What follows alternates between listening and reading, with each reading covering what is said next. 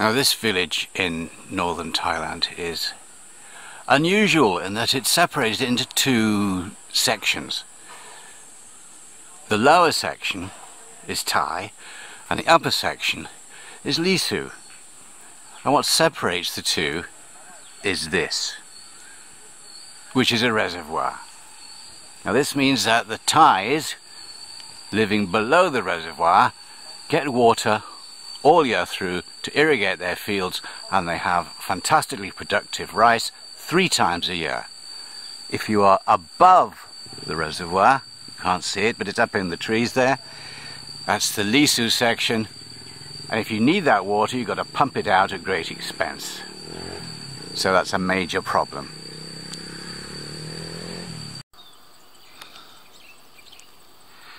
So here's the rice in the lower part of the village. As you can see, it's rich and green and fertile with the hills in the background. And this is the height of the dry season. Now, if you compare that with hill tribe fields, which we'll do in a minute, you'll see quite a difference. Right, I've walked about a hundred meters from those lush green fields of the Thais in the lower part of the village. And now I'm turning around looking the other way and I'm looking at the fields of the hill tribes and what a difference. These fields are on steep slopes, thin soil, very easily eroded, nutrients lost, and the quality of the rice and the quantity of the rice is very inferior. It's easy to see why two main reasons. One is that the Thais arrived here first. They settled here about a thousand years ago from uh, southern China, moving across the Mekong. So they were here first, so they got the best land, and they're the majority group. There's 60 million Thais in Thailand, over 60 million, and there's only about 40,000 Lisu estimates vary. So they're very much a minority group and they end up with the worst land. In fact, the land is so bad now that they make most of their income by other means, as we'll see later. This is Don Luong. That's a Lisu village of about 800 people 50 or so kilometers outside Chiang Mai. Now, the Lisu are one of the seven main ethnic minority groups in Thailand. There are about 600,000 in Myanmar, about 700,000 in China, and only about 40,000 in Thailand. Now the Lisu are a very independent bunch of people. They don't, they don't pay much attention to what the authorities tell them to do. They are a law unto themselves. And their women are noticed and are notable for being very strong-willed and self-disciplined. Now anybody can become a Lisu. All you have to do is to marry into the Lisu clan or the Lisu group, and then you become a member of that clan. Now, because the Lisu come from originally from China uh, or Tibet, the edge of the Himalayas, and moved down here through Chinese territory, there's a lot of Chinese influence in, in Lisu culture, as you can see by the decorations around the door and the and the red pom-poms and all the displays on this house. So a Ka. Now here's a typical Lisu home, um, built of split bamboo with a corrugated iron roof, one level, dirt floor, very, very simple. Nowadays, a lot of the more affluent Lisu are building uh, much more uh, modernistic uh, houses, but this is the traditional Lisu house and because these people used to be semi-nomadic, moving the villages every 20 years or so, when the land around them was worn out of nutrients, the buildings needed to be simple because they had to be moved every 15 years or so. This is the uh, village shaman, who is the man in the village who can uh, contact the spirit world, and he's also a bit of a Lisu musician. And this, he's playing the Lisu banjo, and behind him are some of the handicrafts that are made in the village. Now, this is Mr. Jaka, who is the shaman. That is the uh, person in the village who communicates with the spirit world. And um, I'd like to ask him a few questions, if that's okay. Um, what What is your job in the village? What do you do for the village? And how did you become a shaman? Ya mà thế ra bố bà thì ba mà ya Phá tu lang à. nó à rồi à thì thì ba mà khẩn nó tu la nó không So they believe in God. nó đâu mình their God, and and and his God is on the the altar. à rồi ra nhà vừa bố à ayu sản xuất khơi này nào à theo này à à rồi đi ba làm mà họ cũng sẽ cái The, the the the next one will be someone who younger than thirty years, Okay. and it have to be the same clan. Okay, right, that's the next question. How many clans are there in giờ cái giờ cái giờ phép từ giờ rồi มาหกเจ็ดเจ็ดแปดผมเลือกเขา sứ phản nha phản nha About about seven or eight clans together among them. But but but they cannot uh, marry um, someone who are from the same clan. Okay, right, that's what I thought. Um, oh, Apamo. Apamo. Apamo Apamo. นี่คืออะไร อ่ะเป้าหมกคือเนี่ย Can, can you tell me wh- who is Apamo? mong người nhà có gọi với có gọi à ป้อของมันเขาบอกรู้ป้อกรรมอ่ะ อ๋ออัปปะโม เป็นเจ้าที่ป้อใหญ่ในหมู่บ้านเนี่ย อ๋อ เจ้าป่าเจ้าเขาเนี่ยก็ อ๋อ Um, can, can you ask him how, what does he think about people in the village, in this village who are not, who are Christian or Buddhist, who have changed their religion? ขนาดที่มันจะน้อยกว่าเขามีร้อยกว่าประมาณสี่สิบนะหกสิบเยอะกว่า อ่าร้อย พูดจะหกสิบ พูดจะหกสิบเจ็ดหกสิบและ สี่ สี่ สิ สิ บบ จะเป็นคลิปเยอะ อ๋อ sixty percent uh, Buddhist and forty percent the rest uh, are Christian A Christian. So nobody's left. พ่อพ่อ ประมูลใจอีมันมีเล พ่อย ก็เนี่ย ถ้าคิดอ่ะ น้ำ เป็นอาคาอาคากันลิสุอาคาอาคาเนี่ยไปคิดหมดเลย อ๋อ But can you be Buddhist and Christian and still respect the shaman? thì đây là học phía này so khăn nào mà bây giờ là là cứ là nha So this is the spirit altar, which is at the back of most houses. ไก่ห้ามไปเ So this is the spirit altar, which is at the back of most houses. But this is special because it's the shaman's house. Uh, on the left side of the altar are the spirits of the ancestors of the family who live in the house. On the right side are there are many cups which are to the spirits of uh, the shaman himself which means the spirits of the forest and the spirits of the fields and the spirits of the rivers and the rocks and the village. And so that's why there are so many cups here to celebrate all those spirits. And uh, incense sticks are burnt uh, to um, respect them. And above the village and every Lisu village, looking down, there will be a shrine to the god of the Lisu Apamo. We can't see him because of the trees, but we'll go up there and have a look outside, and then later we'll have a look inside. And there it is, above the village, the shrine or should we call it the temple, to Apamo, who looks after and takes care of all the people of the village, according to their shamanistic traditions.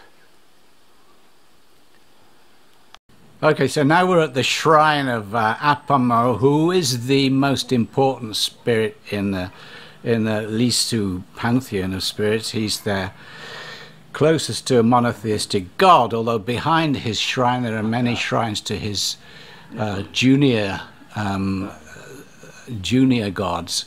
Now the uh, this is the centerpiece of the shrine, and the uh, paper umbrellas tell Apamo that people are visiting him regularly, and the same goes for the incense sticks.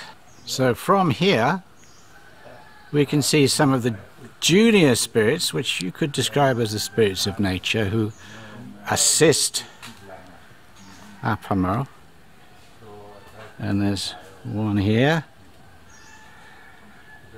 which you can see very clearly, and one behind him in a little wooden stockade. And there's a number of other spirits around protecting the village and working under Apamo, the god of the village. So this is the very, very holy part of the village. Yeah, so now um, Mr. Jaka is showing us some chicken bones which he can use to for various um, reasons to describe if marriages are going to be successful but it's better that he tells us in in Lisu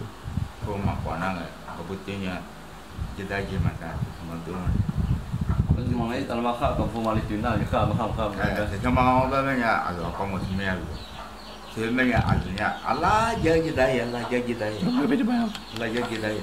Yang mau mereka apa mau? Nak sancau. Ada tu tuan daya, ada tu buat daya. Nak buat mana?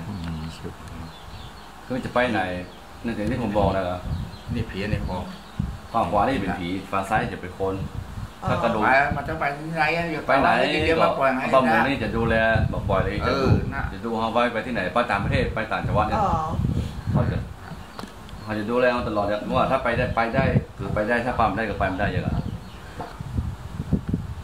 if everything go well or not. Yeah, I'm thinking ถ้า that. เกิดนี่นะอันนี้อันนี้ไม่มีหน่วยอันนี้ไม่มีนะอันนี้อีนี่น่าได้ ไม่ได้ อันนี้ไม่ได้แล้วขาไม่มีไปไม่ได้ อ๋อ อีนะ กระดูกไก่มันจะดูได้ทุกอย่าง อ๋อ จะไปไหนจะไปถ้าบอกแค่ถ้าบอกไปไม่ได้ก็ไปไม่ได้อะ ไม่ดีอีนี่ไม่ดี ทุกกระดูก Right, well, uh, thank you very much, Mr. Jagga. I should explain that we have a translation problem here because uh, I'm speaking English, uh, I have someone speaking Thai, because and then it has to be translated into Lisu because um, Mr. Jagga does not understand Thai very well. So we have a three-way translation, but I hope um, it's quite clear what we're trying to say. Here's a, a pig being barbecued, probably for a marriage or a funeral or a sacrifice for illness. And the pigs are kept right on the edge of the village. And the edge of the village is always marked by water. So those are the pigsties, and there's the little bridge, and that marks the edge of the village. So I am standing outside the village. Now that is quite important because evil spirits can be kept outside the village by the shaman. And if you are sick, then it is customary in the traditional fashion to take a piece of clothing from the sick person and put it outside the village in the belief that the evil spirit would disappear out of the village and the person would get better. So I'm going to look now, see if I can find some bits of clothing which will mark where that particular little ceremony has taken place. So here's the remains of what was once a little bamboo boat with some shreds of clothing from the sick person which have been placed just outside the village, just the other side of the river that we saw just now. Now, because most of the village have become Christian or Buddhist, these traditions are dying out. But many people, even though they may have changed their religion in name, still follow the old beliefs. All right, for the Lisu people, uh, wealth is measured in how much silver you've got. And they make the most fantastic silver costumes, including this silver jacket here that this young lady is wearing to show you. Okay, and they make it in the village, so uh, in a second I'll just show you them actually producing the silver. So here's a silver making factory with a lady clipping out little bits of silver and making them into the beads that get made into the jackets that you just saw a little while ago. I think you can see there. And it's a, a real village industry and very important. Especially when these costumes are worn at uh, Lisu New Year, which is around the time of Chinese New Year, which is usually in early February. Yeah. Okay. Uh, Kabumu. That's thank you in Lisu. So here's one of the jackets. Can we see the silver clips there? Yeah. And uh, they take well over a month to make. And this jacket's worth uh, getting on for a thousand dollars US or maybe even more. So, very important to the people. Now there are two things, particularly that the Lisu prize as a measurement of their wealth, and one of them is silver, which we'll see uh, during the dancing, and we've seen some already. And the other one is uh, is pigs, and here are some uh, Lisu pigs. Many of these will be sacrificed for the New Year festival, and also they're sacrificed for weddings and for funerals, and for any major event in the life of the Lisu. Are we going?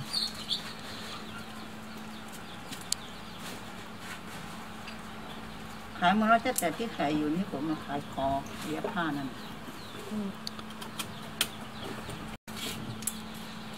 So which is more important now in the village, making, making textiles and silver or farming?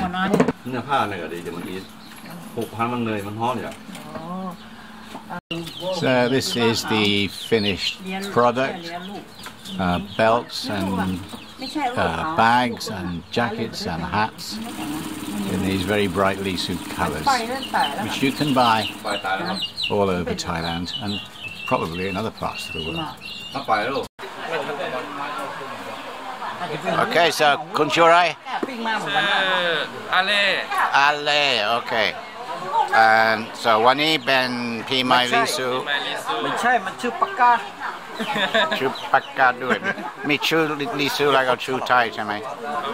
So Chi Lisu, Chu Lisu like ชื่อลิซูชื่ออาเล่อาเล่ผ่า Ale Pa, okay. มีลาเบลตั วมันดูมาเตือน So คุณคุณเอ่อคุณทำงานที่นี่หรือทำงานข้างนอกเป็นทำข้างนอกครับผมทำงานอะไรโอ้ shit งานขายของขายของในเมืองใช่ไหมใช่ไหมใช่ไหมขายเสื้อผ้าลิซูแม่มาลายครับผมขายไม่มันลาย but at the moment everybody is eating and drinking. And this morning they went up to the shrine of Apamo and uh, they paid their respects and made offerings to him, a bit like Harvest Festival in England. And all these young people here. So kin kau pisat wani mai? Kin narai? Mu. Mu Majak mu ban mai? กินกินเลี้ยงลิซูจีน อาหารลิซู อาหารลิซูเป็นอะไรเป็นหมูอะไรก็หมูนะครับข้าวหมูข้าวหมูทอดหมูผักกาดแล้วแต่เขาเออโอเค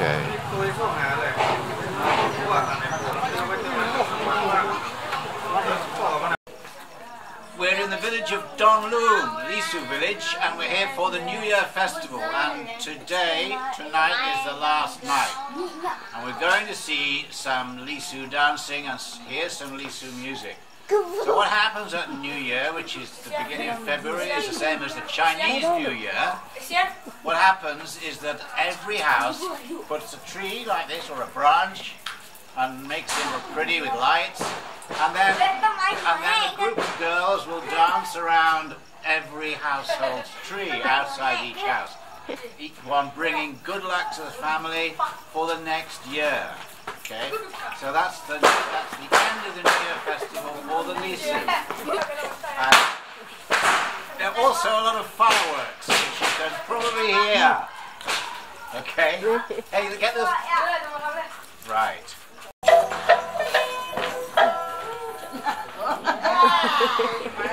Right.